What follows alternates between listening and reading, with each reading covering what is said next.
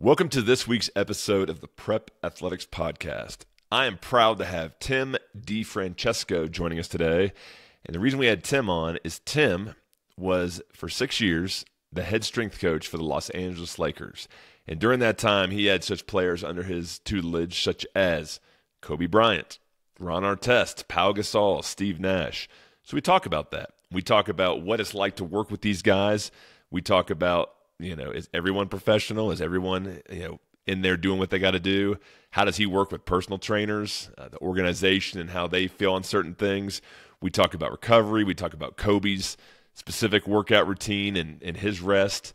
The best part of being with the Lakers, the worst part about being with the Lakers, his favorite lifts, uh, ways he's changed his mind on nutrition and lifting in the past 10 years, and much, much more. So, this is a great episode. Really important for you to listen to if you're a uh, high school or college basketball player or a parent.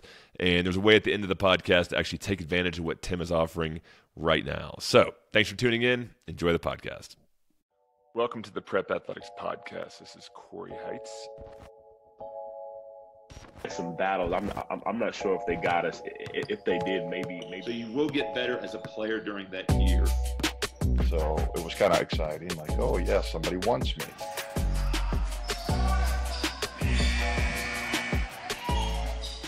Tim, welcome to the podcast.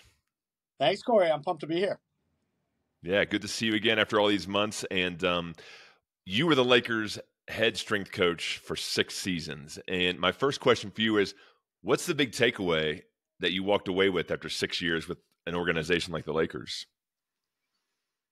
Yeah, I think big takeaway there was the what a lot of people from the outside looking in probably don't realize is the common denominator between the Kobe's, Pau Gasol's, Metta World Peace, Ron Artest, uh, Steve Nash's that I got to work with, and what was the thing that they all had that certain players that don't need to create a list here, but that had similar athletic capabilities or similar abilities uh, of, of technical skill, but weren't able to kind of achieve the levels for the time and, and duration that, that those really Hall of Famers were able to do.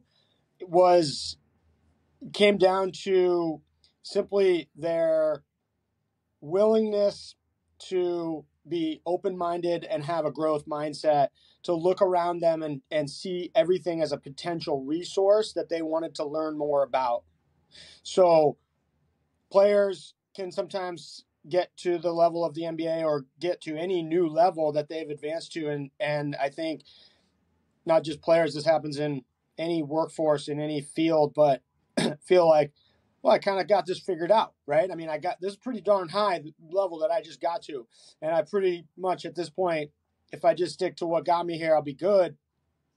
And that's fine. They might very well be able to stick there, but they're probably not going to expand and grow and and have this trajectory that you see players go on that finish their career in the Hall of Fame where they had to start somewhere. They were just rookies who couldn't figure it out one once upon a time too.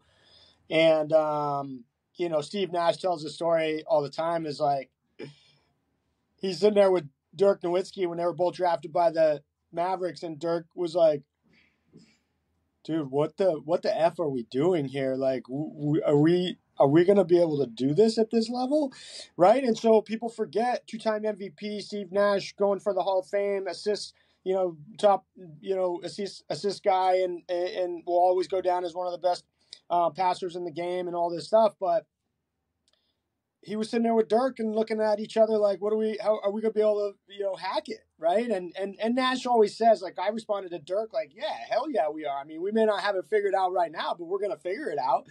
But that's like that growth mindset that they all just had is like, yeah, so what if I don't have it figured out? And guess what? I'm going to be looking at every single thing and person around me as a potential resource to help me grow. And when you don't have that, you might be able to get there and hopefully stay there, but you probably won't be able to grow there. Interesting. When you first got hired and you walked in that first day, like how long did it take for you to gain their trust? Case by case basis. I would say somebody like Kobe is going to make you really earn that. um, he's somebody, and rightfully so. I mean, he can't just let everybody come in, and and so many people want to come in and and be somebody that adds value to him because that adds value to them if that's the what what ends up getting you know played out, but. Not everybody can bring value to somebody like Kobe. That's the reality, or at least from his perspective, and and certainly he's he's the ultimate judge and call on that.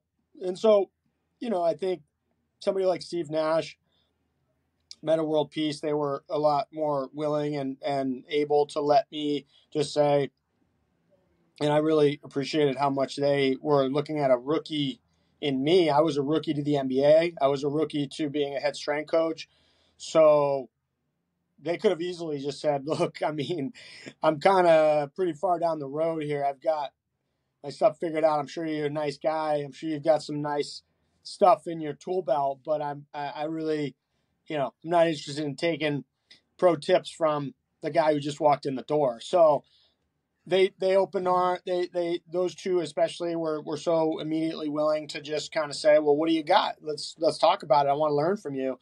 I think Kobe over time uh, understood my work ethic and my approach, and then realized I had some chops and some good knowledge base and and creative ways of, of approaching the craft of strength and conditioning, but he definitely made me earn it. So it, it is case by case basis with each person. I think the biggest key to that going well and as fast as it can go with any individual is just being yourself.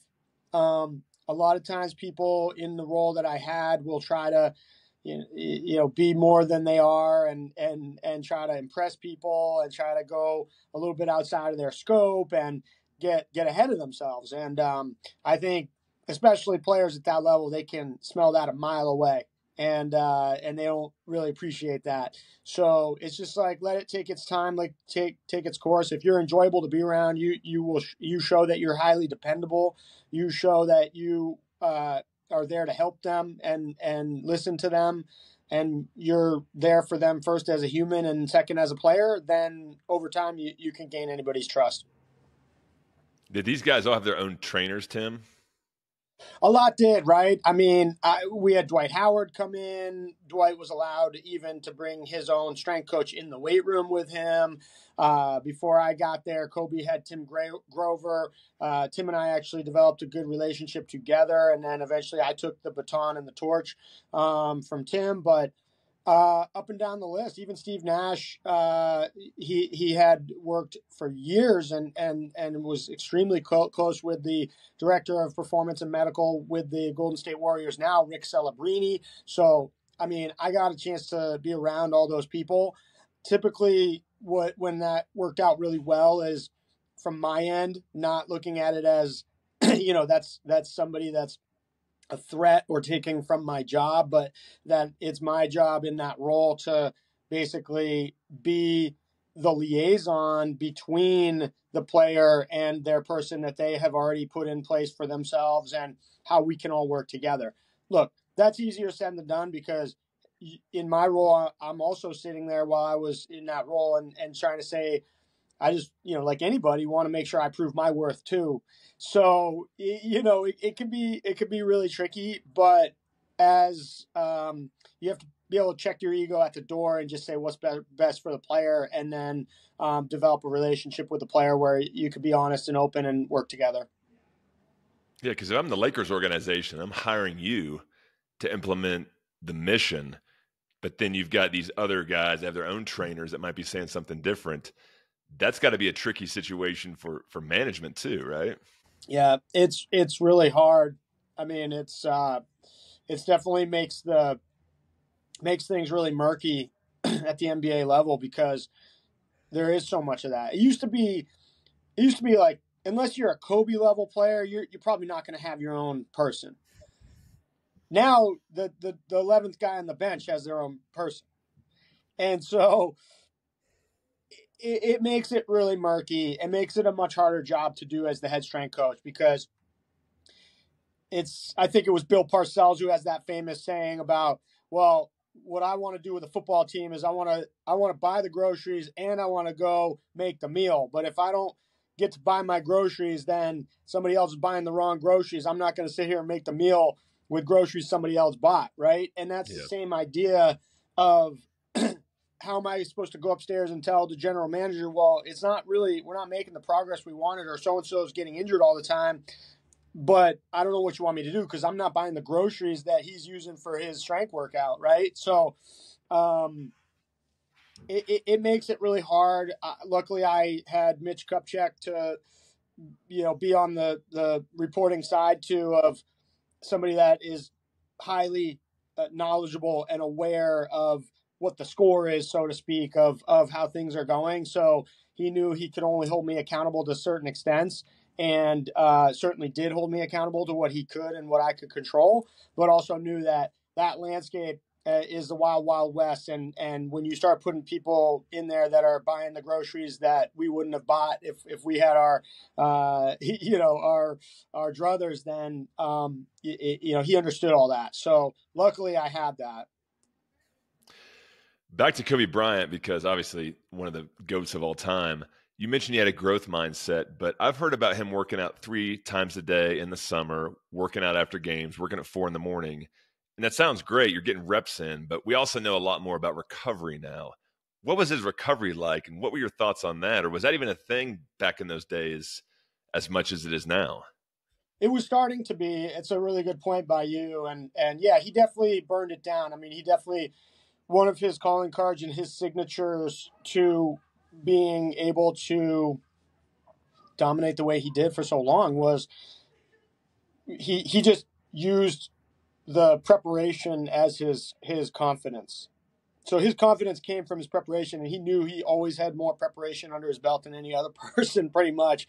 And um, he used that to his advantage. I mean, he he just I can remember him saying to me when he's coming back from his Achilles rehab that he had it had been over almost a year since he had been able to play any level of competitive basketball, and yet he was in his mind and what he would say to me is I would say how's how's it feeling today? How's everything? He said I feel amazing. I feel like I could score 81 points every single night if I stepped out there right now you know? And so I think those are the because he knew he was putting more rehab reps. He knew he was putting in he had accumulated at that point in his life way more reps with the basketball than any other person probably in the NBA and so I think for him that was kind of the the the big differentiator, and he definitely did. I mean, there's classic story I've told a lot about how we lost a game in Memphis and then had to travel to Chicago, which means we might get in the air at midnight from Memphis and fly to Chicago and might get to our hotel by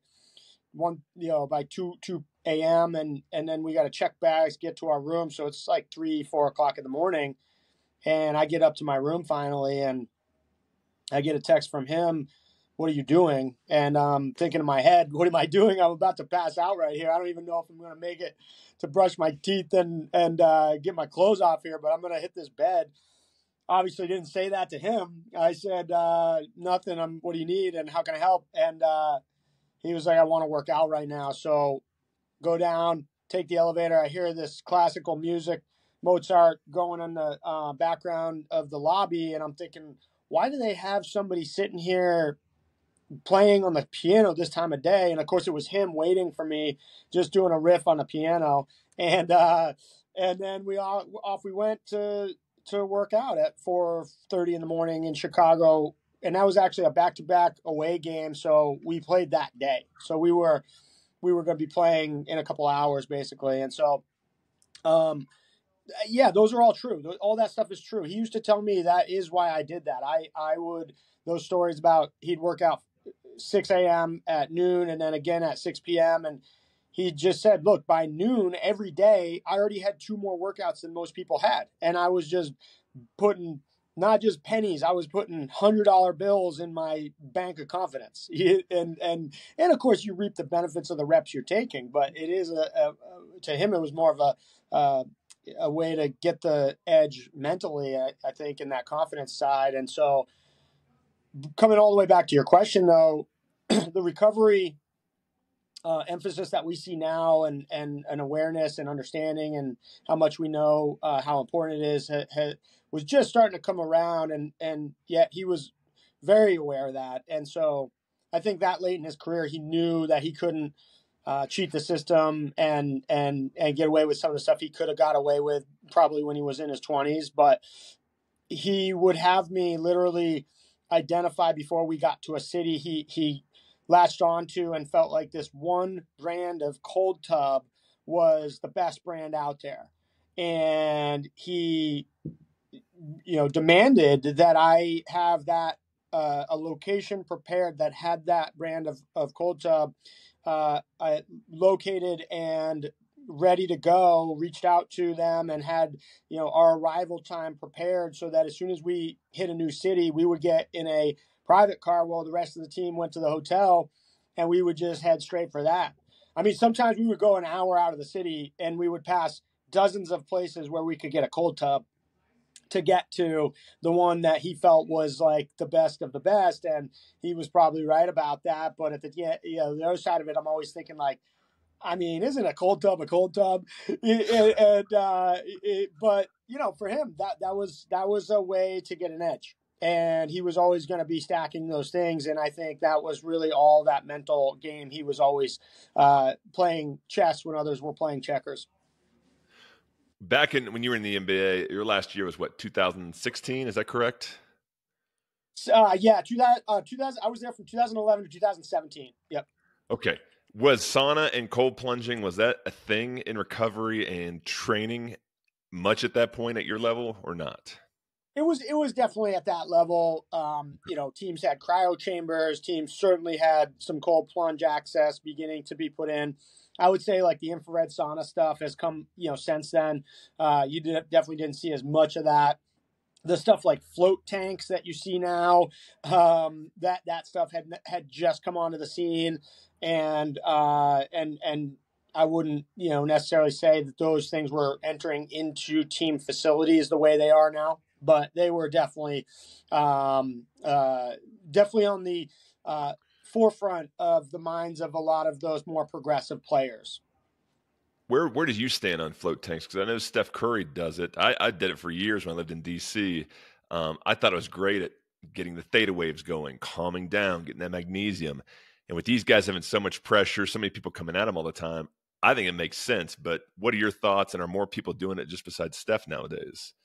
Oh, I love it. I, I actually absolutely love it. I mean, the the thing that you have to think about though is it's not gonna it may not be the thing for every person. So it's it's more of a the other the other the flip side of this what I'm about to say is the fact you could look at it another way. So looking at it from the reverse would be cold plunges, right? It's kind of the craze right now. Everybody's locked into it. Even Gen Pop and the, the CrossFit or the Primal uh, audiences are all doing the cold cold plunges, right? So used to be. Look, I, I went to undergrad in uh, the like early 2000s, and even even then, you had the athletic training room at a small division three school that I went to had a had a cold tub in there and or had a had an uh, uh, a metal bucket that you would fill with water and and uh, put put ice in there. So the ice baths that have now turned into cold plunges, essentially the same thing, but uh, those have been around for a long time. But then I think what we assumed was because there is research and evidence to say it can help with soreness and recovery, that kind of thing.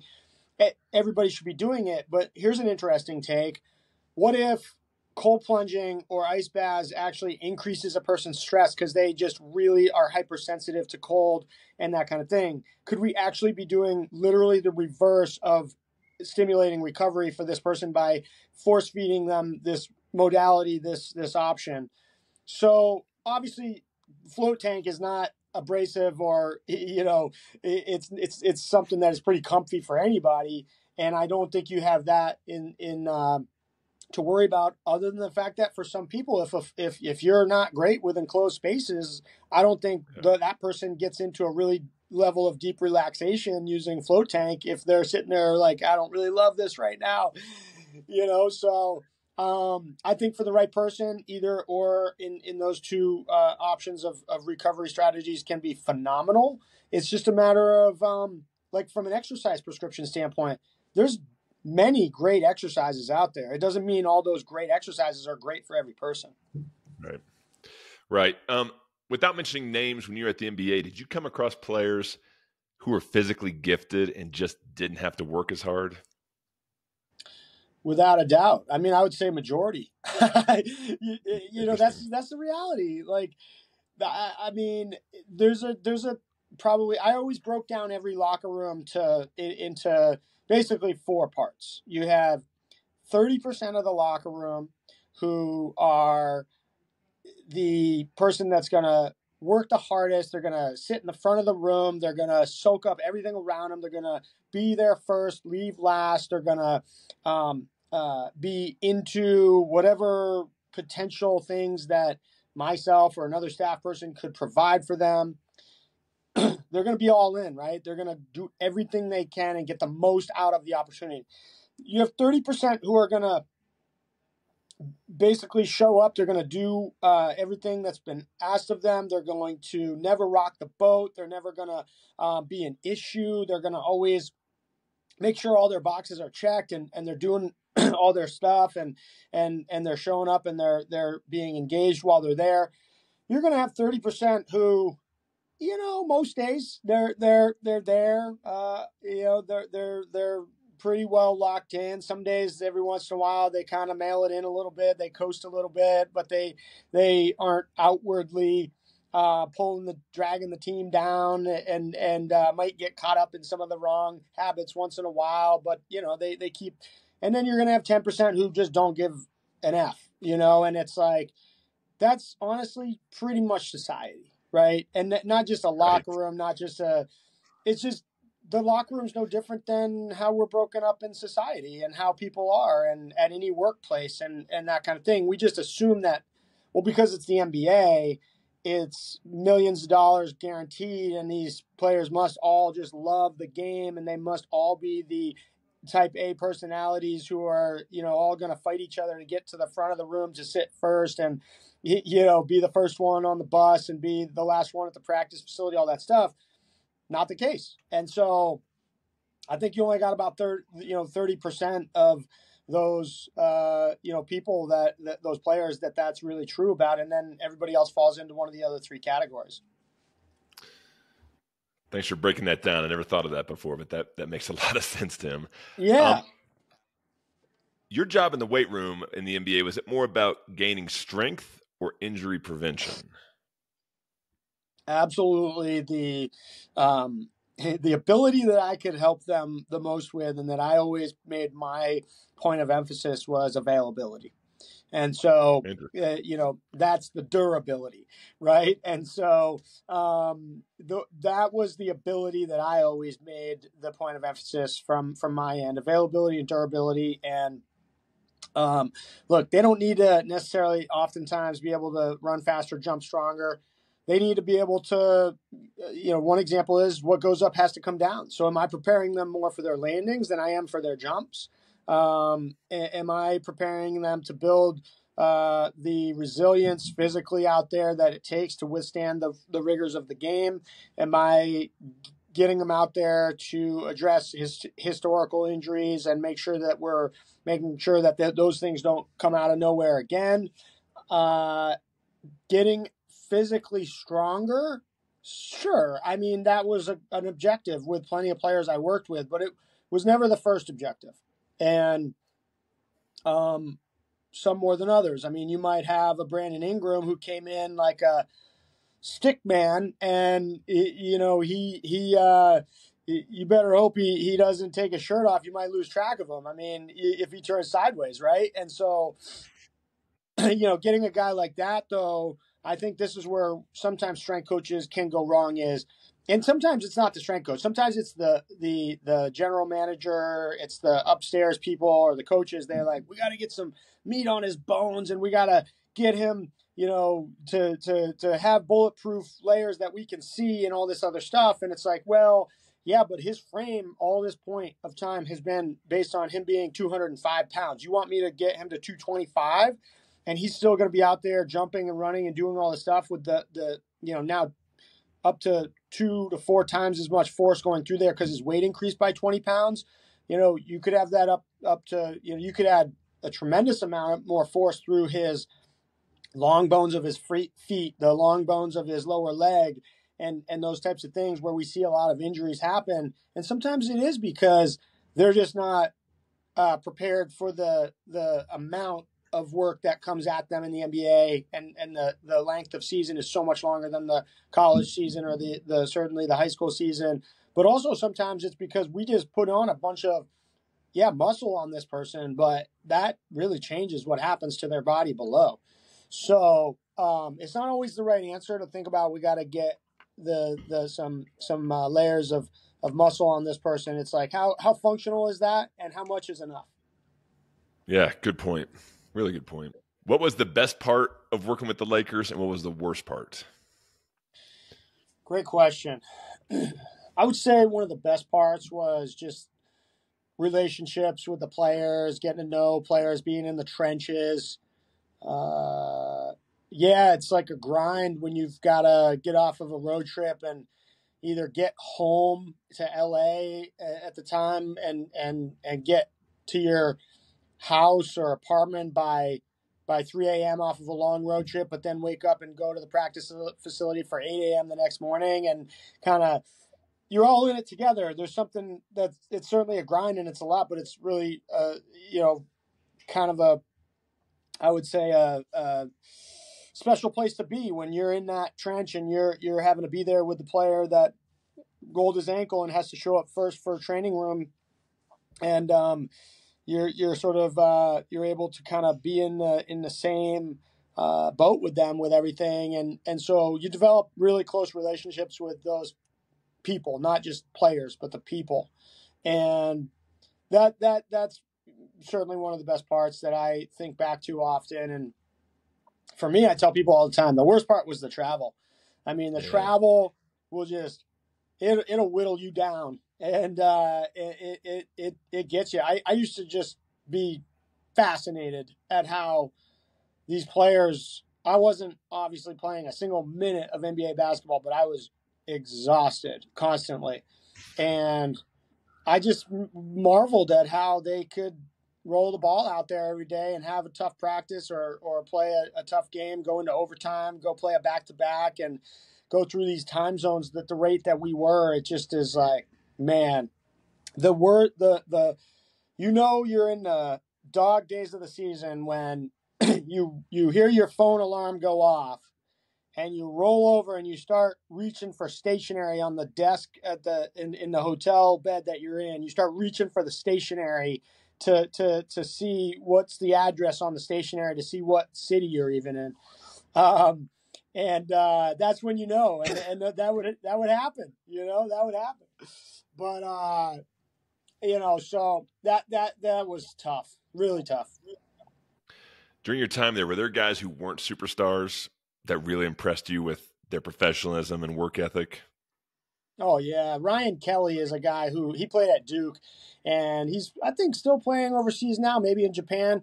But um, that's a guy who just he got way more out of his potential, like out of himself, than even he probably should have because he just he just dotted all his I's and crossed all his T's. He was the first one in. He was getting extra work. He was he he he took the recovery stuff serious seriously. He took the strength training stuff seriously. It was like he just wanted to know what he should be signing up for, what what he should be doing next. But if you told him, he would do it, and so and he would you know do extra. And so there's a there's a player who easily could have been just a training camp guy in his rookie year. Uh, or or just finished his NBA career in his first uh, summer league, but found a place for himself. And um, uh, even though now you know he's in Japan, he he made a career out of the game for himself because of his work ethic, his habits, and um, you know most people aren't necessarily thinking back to Ryan Kelly as as a name that really stands out, but he he deserves it. Nice. I haven't heard that name in a long time. So that's a blast right. from the past right there. Yeah. Right. Uh, in the past 10 years, like what have you changed your mind on when it comes to training basketball players? I would say, you know, the, the, I think the biggest thing is uh, volume of work probably from my end. So I think there's a less is more approach that I take uh, more now than I certainly ever did. I can remember sitting down to try to lay out my very first ever comprehensive basketball strength training program, which at the time I was working with some couple players who were trying to make it into the ABA at the time when the ABA, not the not the Dr. J ABA, but the the ABA of like the mid 2000s when they were trying to still uh, operate and it was um, it was minor league basketball but it was uh, i don't even know if that's a fair way to put it but uh, man i had those guys doing uh, everything i mean every every single training mo- modality there was ladder agility drills i had them doing uh, body weight training band training i had them doing free weights i had them doing olympic lifts i had them doing uh, plyos i had them doing track workouts it's like, look, you gotta just you can't do it all, and you can't do right. all of everything, and you gotta narrow it down.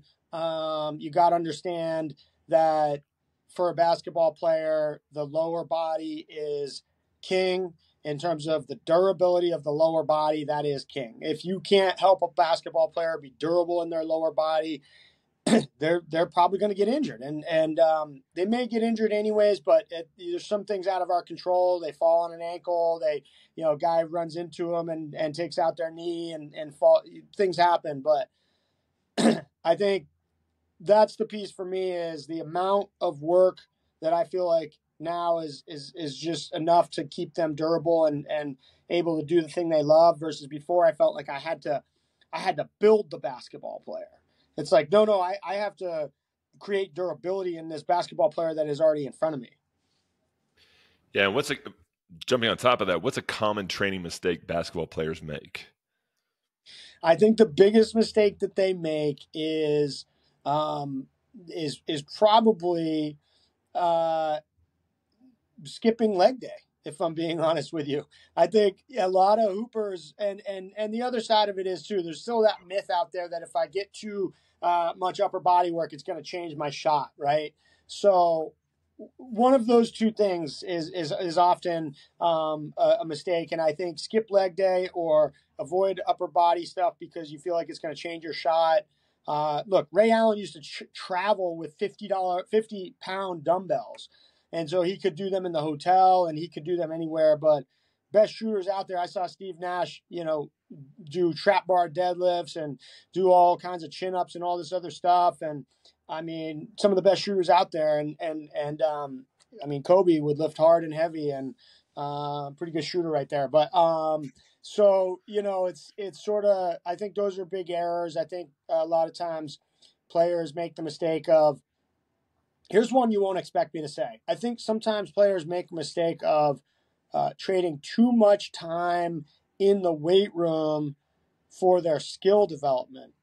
So there's a, a fine line between you saying, like, I'm just going to get so physically ready for the game, and you're trading now hours of time to just get better at the game. Yeah. Look, if, if you can't three times a week get 45 good minutes in the weight room and be doing the right stuff and know what you're doing and get the most out of it from a durability and strength standpoint, I mean, and and then save the rest for the skill stuff. I think you're going to be in a position where at the end of an off season, you're like, dang, I just kind of probably spent a little bit too much time in the weight room, and I I didn't get as many shots as I should have got, or whatever the skill area is that you need to be working on. How about in the past ten years? What have you changed your mind on as as far as nutrition goes?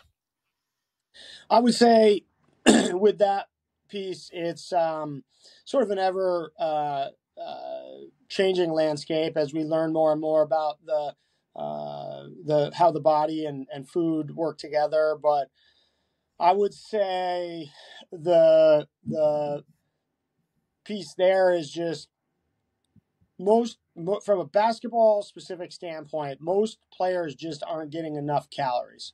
So my take, and probably for me, I got too far into the the the pebbles and sand of the the the the weeds of the um, topic and and got carried away with stuff there more so than just saying, wait a minute, before we get way down into those little nitty gritty nuances and details, are we even getting enough calories? Period. End of story. And um, I just think most basketball players are not. And so their energy reserves are not what they should be. Their ability to maintain the weight that they should be at or they want to be at is is is very hard um, to do, and they they end up by the end of the season ten pounds under what they started at, um, stuff like that. So I, I think it's just looking at it more globally, more simply. Are there supplements you recommend to like high school and college players at all? Yeah, I would say most basketball players probably do need to take a whey protein.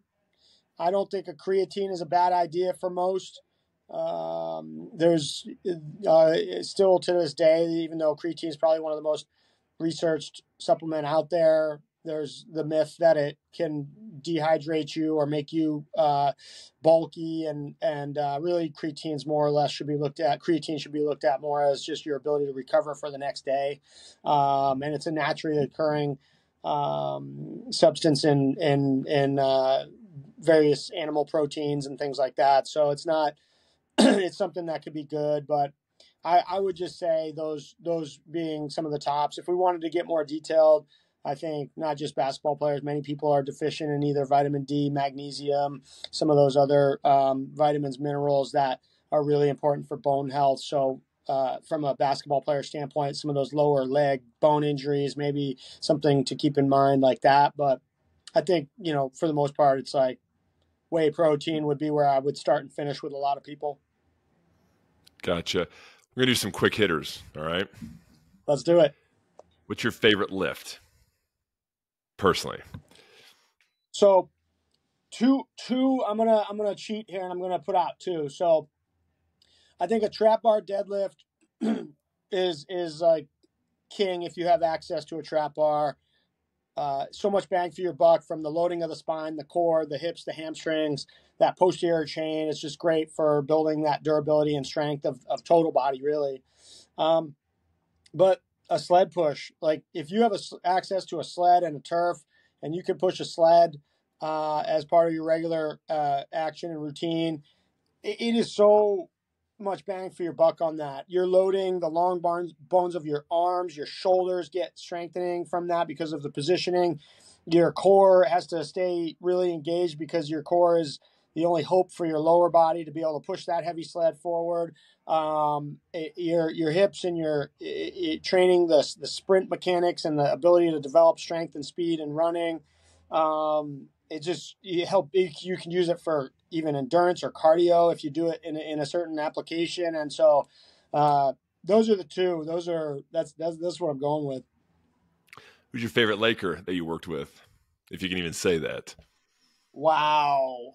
Oh man, um, that's a tough know, one. I'm sorry on that. That's a tough one. No, I, I, can I can get there. Metta World Peace will probably always go down as one of my favorites because he just was so open and curious and excited to to try different things that maybe he hadn't been exposed to at that point in his career, and he he was pretty far down the path in his career.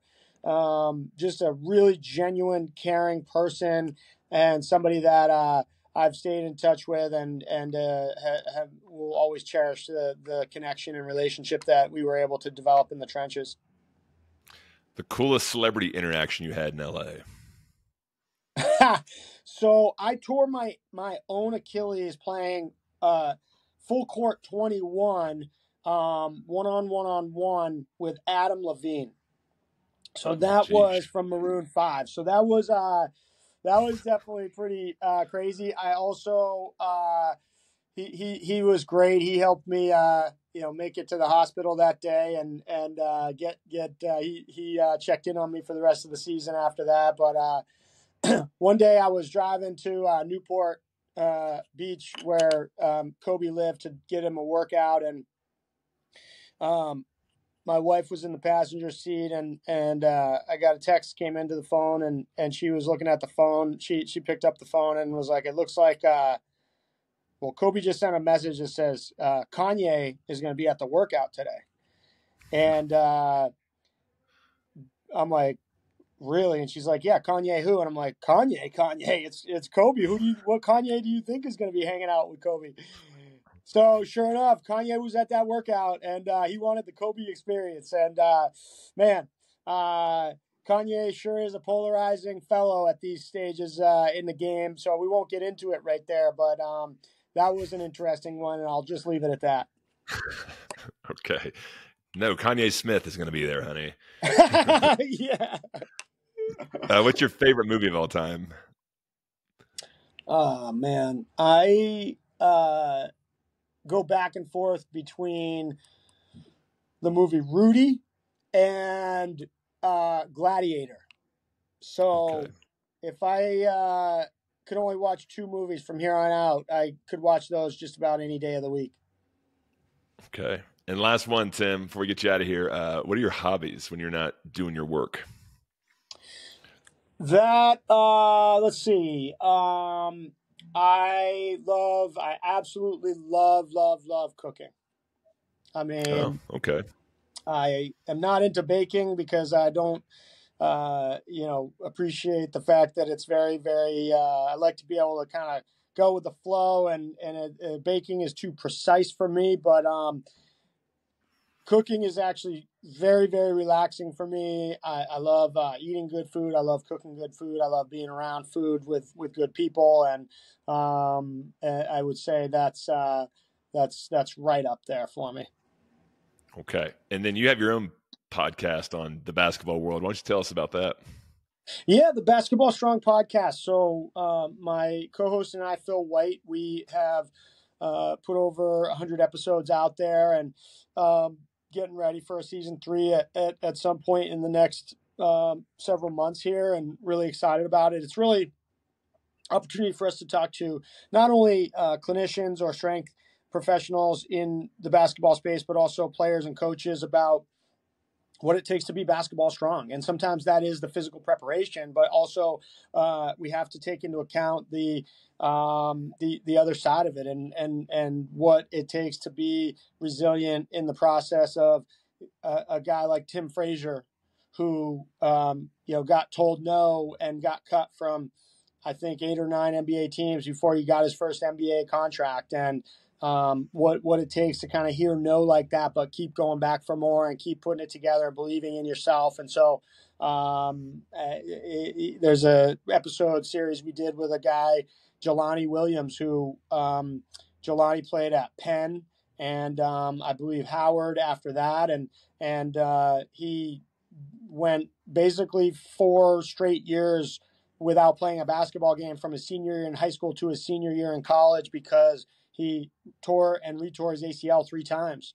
And so the the depths and the places you go to uh, when you when you go through something like that and how you come out the other side stronger like he did, we try to capture that alongside that clinical side, the physical preparation side, the strength side, and so it's a it's been a, a great journey, the Basketball Strong podcast, and um, it's uh, it's been a blast to do it with Phil. Great. And Phil lives two miles that way, and that's how we got connected. Exactly, so. exactly. Our uh, the whole reason why we're we're here uh, trading our stories today. So uh, it's a it's a it's a perfect triangle. Yeah. Okay. And lastly, where can people find you, Tim? Yeah, so for me, um, best place is uh, quickest, probably best place is Instagram at TD Athletes Edge, and um, our website at TD Athletes Edge is www.tdathletesedge.com. So those are two really easy places to find me. We're we're spread out in a couple different other places, but um, those are probably two two of the best places to find us. Perfect. We'll put those in the show notes at the end of this show. Tim, thanks so much for coming on and sharing your knowledge of working in the NBA, uh, you know, weight room and, and sharing your experiences because I think our audience is always looking for that edge. Everyone in my audience, let's put it this way: every one of my clients that reaches out to me, potential clients, wants to play in the NBA. It's Right. a big goal. It should be. It's the, it's the it's the top of the mountain, right? But it's so hard to get to. We've been talking to experts the past, you know, 90 some episodes on this podcast who've worked with NBA players trying to crack that code on how they get there. So I think you telling background on how these guys do it, both nutritionally, recovery wise, um, mentality, growth mindset, I think is just valuable. So thanks so much for sharing that today. No, Corey, it's great stuff. I, I love what you're doing, and and you're so right. And uh, you know, from my end, uh, really excited about what we have to offer for anybody that's looking to kind of try to crack that code of the physical side from our basketball strong uh, strength program that we we offer, and that is a um, for ninety nine dollars on that. You get a for life. You get a, a twelve week basketball strength and conditioning program. That's great for somebody who's trying to know where to start in the weight room and get get themselves physically prepared for the weight room and and uh, from a basketball specific standpoint and and um, I also offer customized online training for individuals that may have gone through some injuries or trying to get back to the court. How do we do that? My background as both a physical therapist and a strength coach, kind of putting that together and being your own personal po- co-pilot in the process of um, strength and conditioning and doing that from anywhere. So I have people and, and players uh, who live in Iowa and California and Australia, wherever they may be, and um, would never be able to step foot in our facility here outside of Boston, Massachusetts, but um, can deliver to them a really uh, customized program and and work that way as well. So again, reach out on any of those platforms and and touch base with me, DM me on Instagram, or just check in on the website www.tdathletesedge.com. Would love to help. Yeah, and just to piggyback on that, my trainer for the past year and a half has been virtual. So we talk once a month uh, on Zoom. He sends me he sends me four workouts a week, and um, if you got a good baseline of what to do, like it's a great it's a great way. So absolutely, if you're interested in that for a basketball player, you got one of the best there. You can take advantage of in Tim. So take advantage of that. Thanks for tuning in this week. I appreciate it. If you like what you hear, uh, be sure to subscribe on all the major podcasting platforms. Go to YouTube. We got a lot of good bonus content on there. And as always, go to prepathletics.com. You can reach out to me there if you got any questions and sign up for the newsletter. And until next time, we'll see you again. Thanks so much for tuning in.